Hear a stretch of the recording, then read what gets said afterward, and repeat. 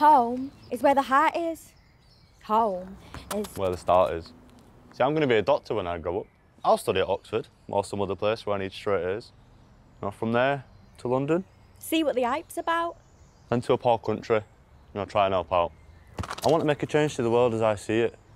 Drug deals, joyrides, guns, gangs and ganja. I was 12 years old when I first rolled a joint, but I don't see the point of destroying my brain when I can make it stronger, work faster, think quicker. And right now it might not seem cool to my brothers and you, but I would rather be in school. See, my dad works long hours to give me a chance. There's more to life than this, he says. It doesn't matter, it's far from here. Take the leap. Jump. No fear. And maybe one day they'll talk about me. Make something of myself. Make 'em see.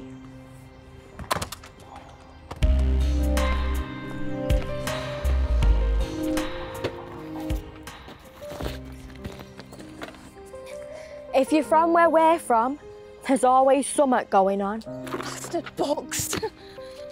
Night classes, once a week, different skill each week. You should go to uni. Why? I've got enough. I've always worked and I'm dragging up two kids. I'm not sure they could teach me how clever with a brain like this. what would I study? I hated school. Chaucer. Pythagoras. Shakespeare, playing the fool. Yeah, well, that don't help at 8.15 when I'm trying to scrub my jumper clean because Sammy Joe spilt sauce for the sixth time today. I've got to get to work. Drop him off on the way. There's no way King Lear's going to help me now. As I scream at the kids to come down. Grab your shoes. Have you got your coat? Here's your bag. Don't ask about my useless dad. It's a bloody madhouse. It always is. I don't know anyone who's on their own with two kids who does it perfect, whose house is clean. Mine looks like a murder scene. But it's mine. Well, the council's. And the kids are mine too. And somehow I know that we'll make it through. No matter what it takes. Or if I'm late, or if I ate stale toast for tea last night. I'll just battle on. For them and for me. To make our own. The best it can be.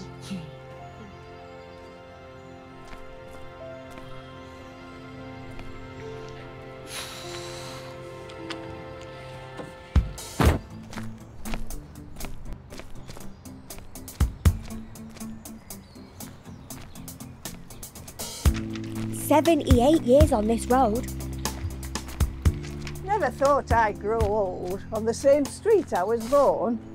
Moved houses three times, but still stayed on this strip of tarmac where I played as a kid.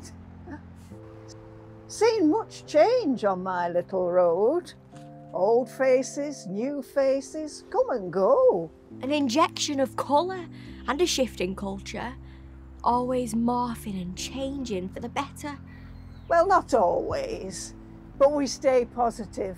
Change is inevitable, whether we like it or not. And I'm not going to be the whinger on the block. Mavis was the one when I was young. A woman my age lived at 32. We called her a witch. If you pass her house, you'll be cursed. She had a black cat, but other than that, we'd no reason to think she rode a broom round her cramped but cosy little front room. I hope that's not me. Hope that's not what the kids these days see when they walk past, spit on the path. I'd offer them biscuits, but you're not allowed now. Generosity is creepy.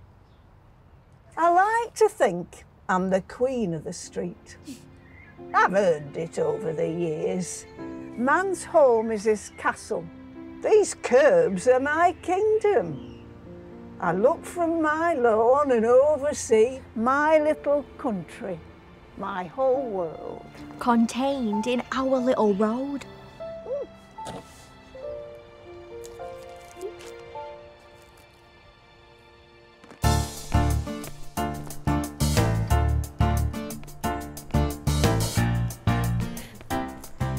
Man, a few words.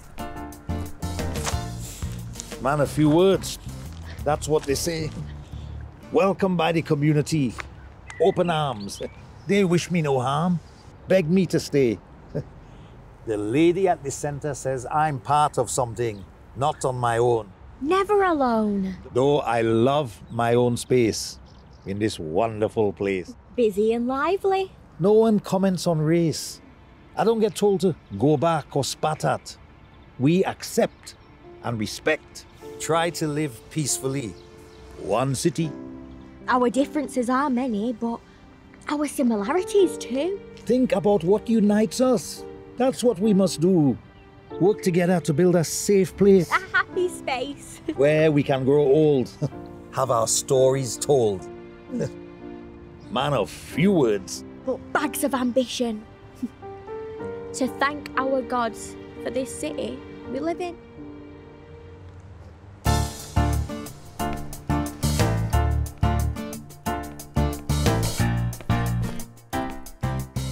Last time around, no one's seen him for weeks. He struggles, you know. His mind, it plays tricks. But he still gets his milk and daily news fix.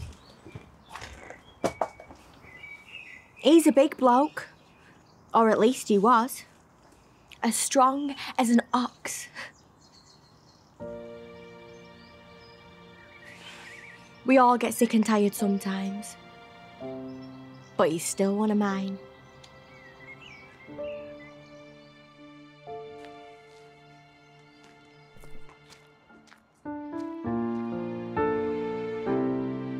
They all are.